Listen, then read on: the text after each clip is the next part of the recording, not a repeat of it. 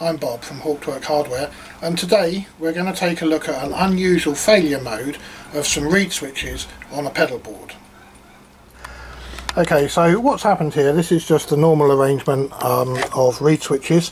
So the pedals move down um, and expose the reed switches to a, a magnet behind which operates the reed switches. So I've hooked up my test meter um, between the common line as you can see at the bottom um, and the opposite side of one of the reed switches.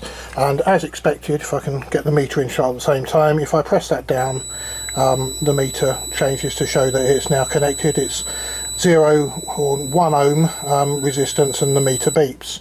And that's what should happen obviously with all of the reed switches. However if we move the meter along to the next reed switch and we do the same again nothing happens at all. And there's no uh, change on the meter. It's it's not even showing like a high resistance nothing. If you go up to the higher ohms range and then repeat the test you still get nothing. So obviously that reed switch isn't working However, there's a strange peculiarity with reed switches, and that is that if you listen to them, um, if obviously have a look at them first, if there's no mechanical damage, and there doesn't appear to be to this one, uh, if you listen to them, you can hear them tick as they're exposed to the magnet. And I don't know if the camera's going to pick this up, but I'll give it a try. I get the camera as close as I can, and then just operate the reed switch gently. Okay, and you get that tiny little tick which tells us that the actual reed inside the switch is moving and working. Um, now I haven't seen this before where the switch appears to be working, it's still ticking, it's not physically broken, but it's not actually making an electrical connection. And on this actual um, whole keyboard there are about six or seven switches that are performing in the same way. Okay, so I'm going to remove this faulty reed switch now. So first of all we'll just unsolder the wire from it. And then rather than uh, just heating up the solder and lifting the switch up I'm going to use my desoldering tool to actually remove the solder first. Um, just because I don't want to damage the reed switch in any way. I want it to come out in perfect condition. So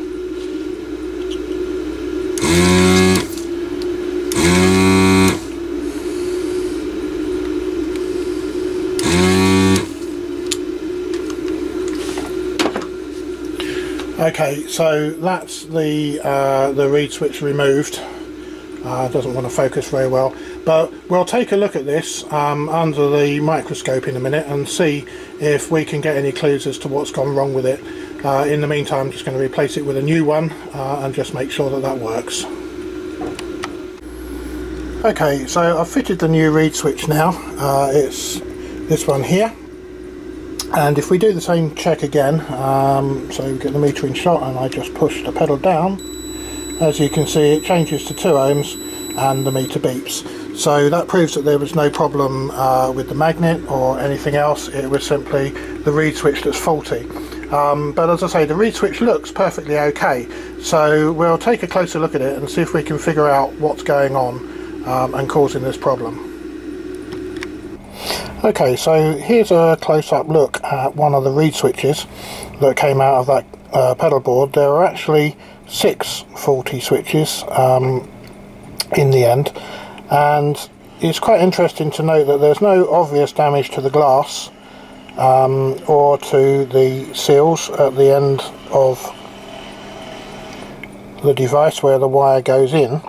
Um, it all looks perfectly okay, and it sounds okay when it's operating but it just appears to be open circuit. Now I can only assume that what's actually happened here is that where the wires where they go in they look quite tarnished um, and I'm guessing that even though they look okay uh, these seals at the end here have failed in some way and the air has got into this bulb um, and oxidized the actual contacts themselves. So even though they look perfectly okay uh, and they sound okay and they move and they touch together uh, there is actually uh, no electrical contact due to the tarnishing on the actual contacts. There's a, a little kind of mark around this end of the tube that looks like maybe it could be a little crack.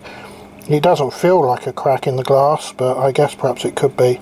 But uh, anyway I just thought I'd point this out because I've not come across this before um, and so it's always worth actually checking the each reed switch with a meter and a magnet just to make certain now um, that they do actually do what they're supposed to do. So I just hope that helps somebody